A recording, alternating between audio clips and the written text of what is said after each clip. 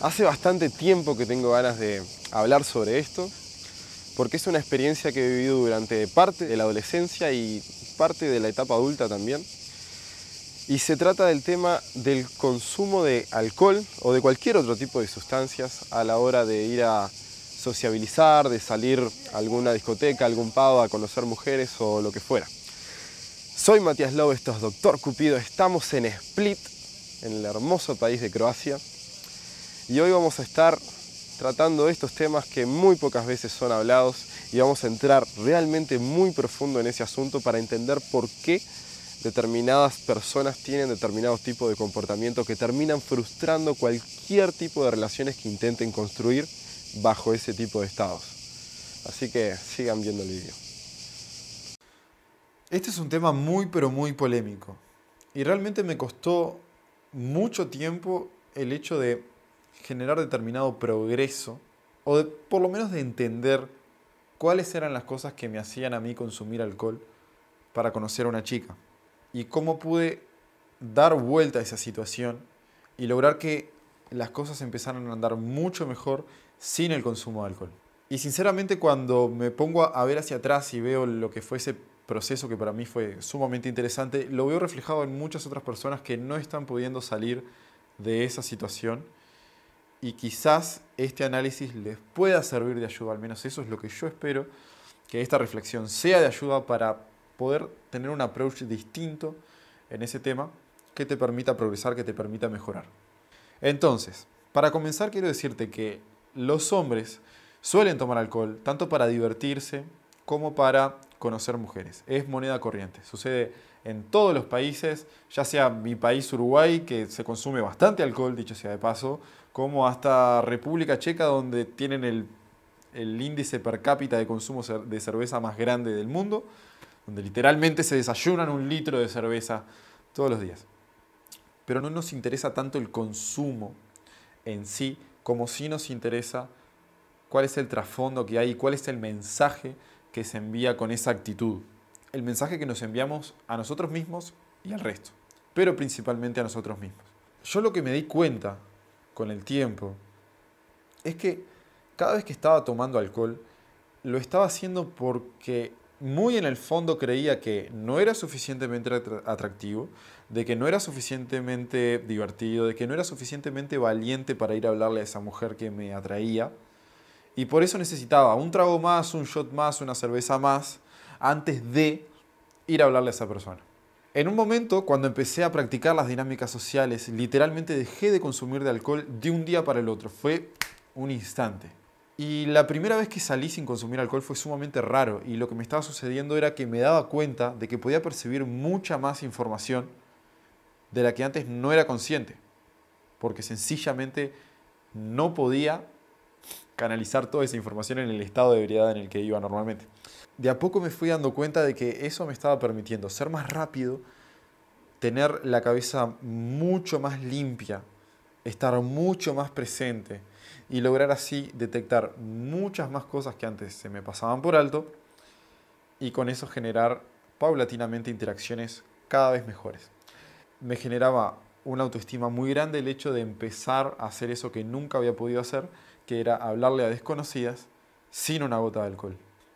Entonces, lo que te quiero decir es que no es el hecho de consumir alcohol o de divertirse lo que, lo que quiero. No estoy en contra del alcohol y tampoco es una apología del alcohol.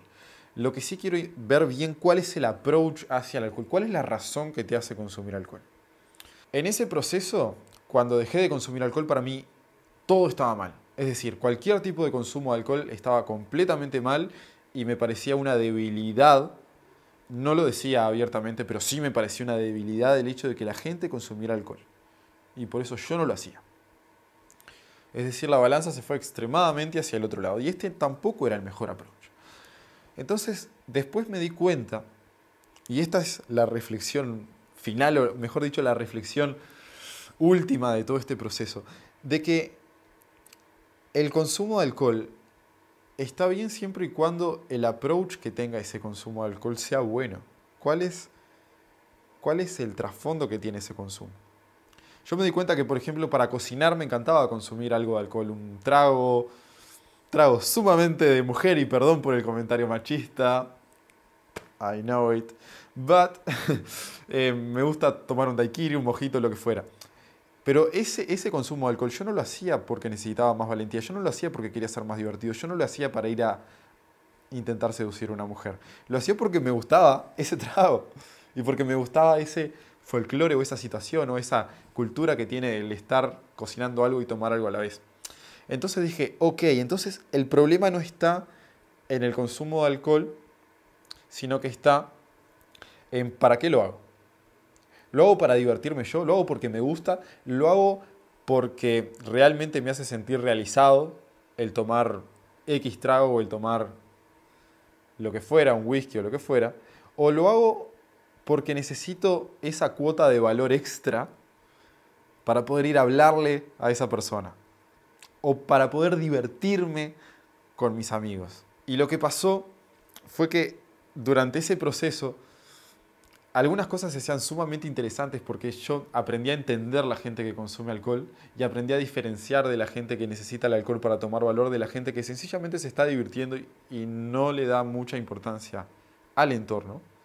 Y eso me permitió ser mucho más consciente de todo el gran abanico de situaciones que existen y de en qué situación estaba yo puntualmente en ese momento. A lo que voy con esto no es a que dejes de consumir alcohol ni, nada por el estilo. O sea, está comprobado científicamente que en determinada etapa, determinado consumo de alcohol puede ser incluso beneficioso para prolongar eh, la vida y para, prolongar, para mejorar la calidad de vida. No se puede ir de esa manera intransigente contra el alcohol. Pero sí, lo que quiero ir en contra es de el razonamiento de que necesitas consumir alcohol para poder ser más atractivo, de que necesitas consumir alcohol para poder ir a hablarle a una mujer, de que necesitas consumir alcohol para divertirte con tus amigos. Y cuidado, porque a veces los círculos de amigos, y esto lo viví en carne propia, son difíciles de tratar a la hora de que uno del grupo deja de consumir de un día para el otro, porque de ahí en más sos el raro, sos el que se está cortando, sos el que no quiere divertirse, y a veces no están en el nivel de pensamiento, llamémosle, para poder entender esa situación y es completamente respetable y no hay que juzgarlos porque a cada uno le llega cuando le llega. Entonces, sin ningún tipo de rencores, pero eso no puede hacerte desistir si llegas al entendimiento de que en realidad no necesitas alcohol para ir a conocer a una chica. Entonces, las desventajas que tiene el alcohol son notorias. Primero, no vas a estar 100% presente, vas a perder un montón de información, no vas a poder ser congruente, las palabras no te van a salir bien, no vas a ver bien, no vas a saber bien con quién estás tratando. Entonces, las voy a dar por sentado. ¿Cuáles son las ventajas que te puede producir el hecho de no consumir alcohol? Por el contrario, vas a estar mucho más presente. Vas a aprender a captar mucha más información y en la medida en que sepas cómo utilizarla te va a hacer las cosas muchísimo más fáciles. Vas a poder hablar sin trabarte y además tratar de recordar y tener todas las historias y todas las vivencias que más te gustan y que son más atractivas muy a flor de piel sin necesidad de esa sustancia. Y por otro lado, genera una gran autoconfianza el hecho de que puedas diferenciarte de esa manera e ir a tomar acción, e ir a conocer a una chica sin estar consumiendo alcohol e incluso decírselo cuando vea que sea simpático, cuando vea que realmente estás divirtiéndote y te pregunte qué estás tomando y le decís, no, mira, estoy tomando agua. Y dices, no, ¿cómo que tomas agua? Me pasó mil veces. Y eso transmite realmente un valor muy, muy, muy alto. Porque no es lo usual.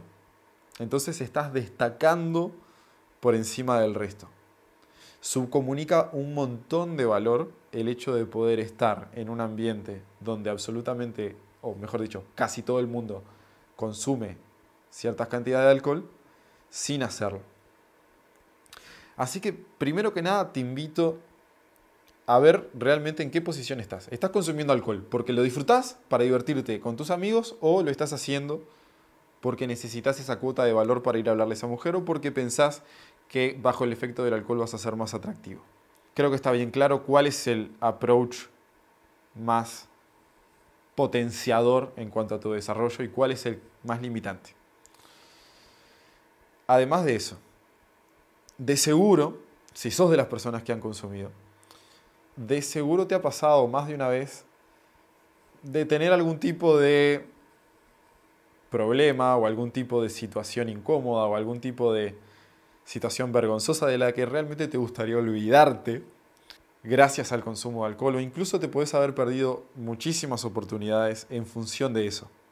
A mí me pasó montones de veces y realmente algunas fueron sumamente avergonzantes. Sumamente avergonzantes. Entonces el hecho de no consumir alcohol también te libera de plano de todo ese tipo de situaciones en las cuales no queremos para nada ser vistos. No demuestra absolutamente nada de valor. Y no es el hecho de, ah, no me importa lo que, lo que los demás piensen. Es el hecho de que estás siendo lo peor de vos en determinado momento. Entonces te invito a comentar y a contarme cuál fue esa situación incómoda o cuál fue esa situación que el efecto del alcohol te frustró o te generó una interacción que fuera fallida en función de eso. A mí me ha pasado montones de veces. También te invito a suscribirte, creo que el botón está por acá, y a visitar nuestro sitio web y seguirnos en las redes. Pero de verdad, lo que más quiero es que entiendas que lo importante es el por qué lo haces y no qué es lo que haces.